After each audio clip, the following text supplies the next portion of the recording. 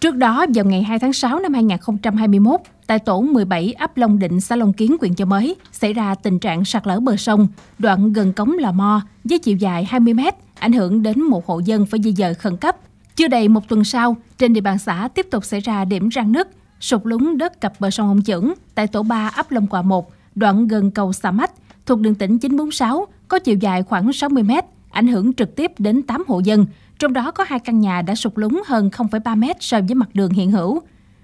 Đoạn sạt lở có nguy cơ lan rộng với chiều dài hơn 300 mét về phía hạ nguồn, trong đó có 16 căn nhà, hai lều quán và một căn nhà gần cống lò mò thuộc ấp Long Định cần phải di dời khẩn cấp. Vừa qua ở đây ở Long Hòa 1, ấp Long Hòa 1, xã Long Kiến, tổ 3 có ờ, bị sạt lở 8 căn nhà. Trong đó 8 căn nhà phải di dời nhờ chính quyền địa phương, quỹ ban xã Long Kiến lên hỗ trợ cho lực lượng lên di dời bà con bảo vệ tính mạng bà con nơi đến nơi an toàn. Và sau đó hỗ trợ cho bà con một cái nền nhà về khu dân cư và hỗ trợ tiền để xây cất để ờ, cất nhà để yên tâm bằng an.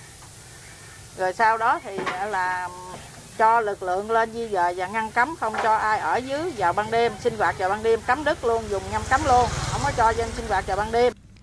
Hiện tại, chính quyền địa phương đã cho kéo dây, lắp đặt biển báo tạm và bố trí lực lượng ứng trực tiếp tục theo dõi để cảnh báo cho người dân biết không đi vào khu vực này, đồng thời khẩn trương tuyên truyền vận động các hộ dân di dời tài sản đến nơi an toàn, không được ở tại nhà vì nơi đây nằm trong vùng cảnh báo nguy cơ sạt lở rất cao theo kết quả quan trắc của tỉnh. Thời gian qua thì giờ nhờ chính quyền địa phương đã hỗ trợ nền nhà và số tiền ờ, được ờ, bốn năm chục triệu về ờ, ngân hàng chính sách dễ dễ ngăn cho bốn chục nữa là chín chục thì là bà con chúng tôi cũng nhờ địa phương ờ, chính quyền đã ờ, mau nhanh chóng nâng đưa cho về nơi ờ, mới đang cho có cuộc sống ổn định hơn. Tôi cũng cảm ơn chính quyền địa phương tạo điều kiện cho chúng tôi về nơi ở mới ổn định cuộc sống. Thời gian sắp tới thì thực hiện theo cái cái công văn của xã tài nguyên môi trường á, thì kết quả quan chắc thì hiện nay trên địa bàn xã Long Tiến thì có một số đoạn một số đoạn là có nguy cơ, có nguy cơ sạt lở cao. Thì à, ban chỉ huy chúng tôi thì à, hướng tới là sẽ, là xây dựng à, kế hoạch và thông báo thông báo các cái trên đài cũng như là tuyên truyền trực tiếp đến các cái cái hộ dân khi mà có cái hiện tượng bất thường rồi dấu hiệu sạt lở thì phải kịp thời kịp thời báo cáo ban nhân báo với ban nhân xã để chúng tôi là, là tuyên truyền vận động là hỗ trợ di dời người và tài sản của các cái hộ dân này đến ờ, nơi an toàn và kiên quyết là không cho là không cho những cái người dân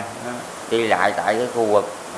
khu vực cảnh báo tình hình là nguy cơ sạt lở nguy hiểm